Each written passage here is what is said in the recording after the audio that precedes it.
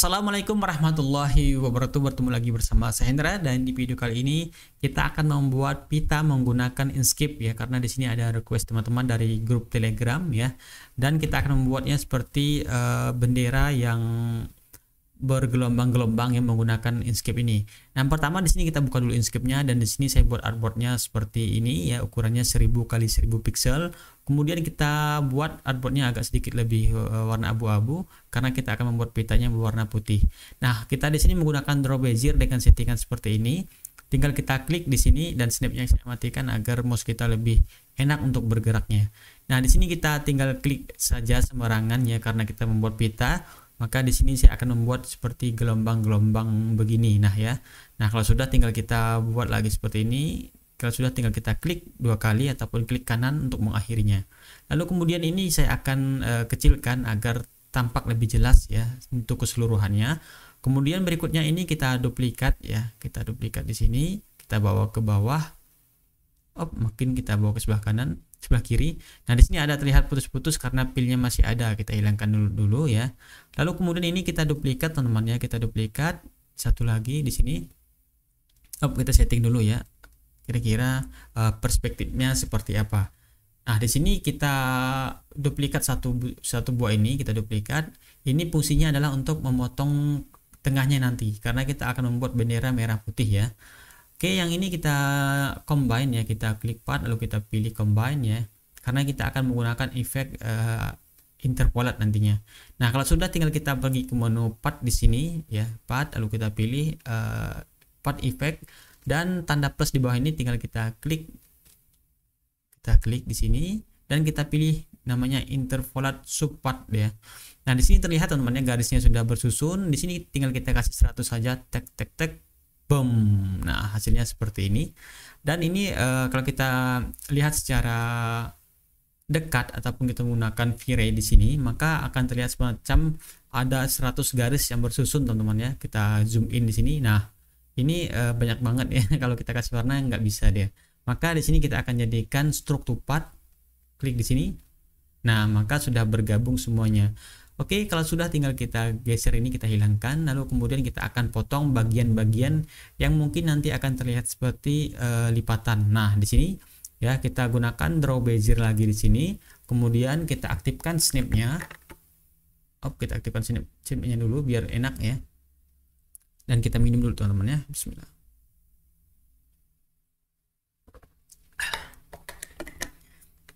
Nah, kalau sudah tinggal kita klik kanan untuk mengakhirinya, ini kita, kita ganti warna hitam agar terlihat jelas nanti perbedaannya.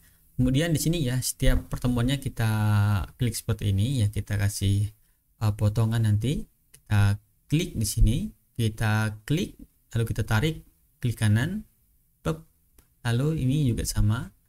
Kita tarik, kita lenturkan, klik kanan, pem sama ini kita klik kita klik lenturkan klik kanan dan satu lagi terakhir di sini klik lenturkan akhiri di sini. Nah, sekarang kita akan seleksi semua struknya yang berwarna hitam ini. Klik, klik kanan, kita pilih same uh, same color di sini struknya ya. Jadi setiap semua struknya yang berwarna hitam itu otomatis akan terpilih. Lalu kita combine di sini.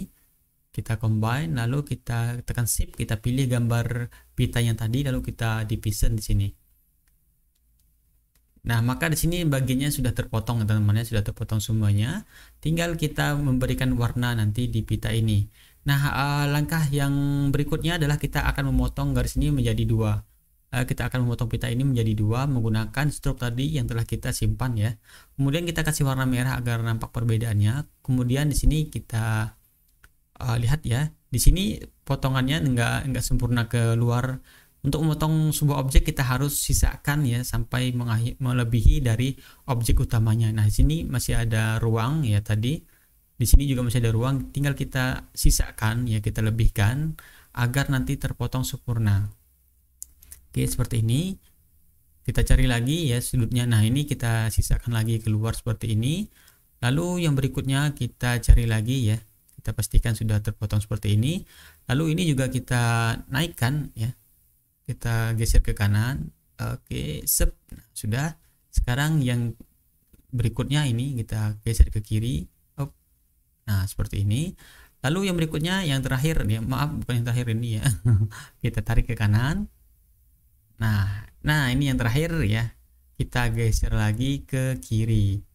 Kita cek dulu ujungnya ini. Nah ini belum belum melebihi objek utamanya maka di sini kita klik aja di sini oke kalau sudah tinggal kita potong teman-teman nah di sini kita potongnya akan uh, kita potongnya secara satu persatu ya. Dengan cara ini struk yang warna merah kita duplikat agar nanti ketika agar karena masih kita karena kita masih memakai struknya tadi untuk memotong objek-objek lainnya.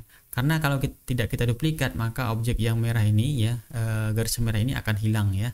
Nah di sini kita duplikat kita klik lalu kita division dan diulangi sampai dengan yang paling ujungnya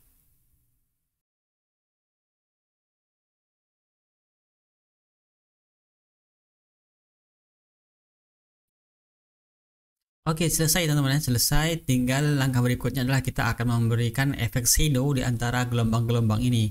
Nah mungkin teman-teman nanti yang punya insting kuat ya maka lebih bagus lagi kalau misal kita menempatkan shadownya di antara-antara yang paling tepat. Contohnya di antara lekukan ya warnanya agak lebih uh, gelap. Sedangkan di daerah yang timbul warnanya agak sedikit lebih cerah ya Nah, di sini karena saya juga kurang paham tentang persedoan, jadi kita tebak-tebak saja teman-temannya. Di sini kita klik aja di sini.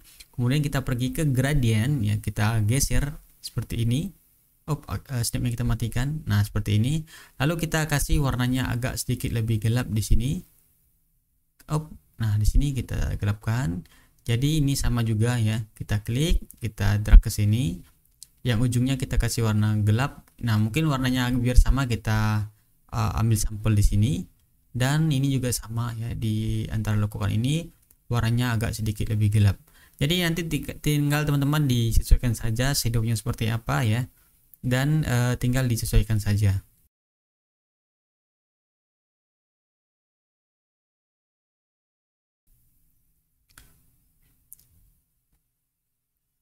Baiklah teman-teman ya mungkin sampai di sini dulu video kali ini semoga bermanfaat dan jika teman-teman suka dengan video semacam ini silahkan klik like, share, komen dan juga di subscribe agar channel ini terus berkembang dan banyak yang tahu dan banyak yang hijrah ke software yang free. Baiklah saya Indra mengucapkan wassalamualaikum warahmatullahi wabarakatuh.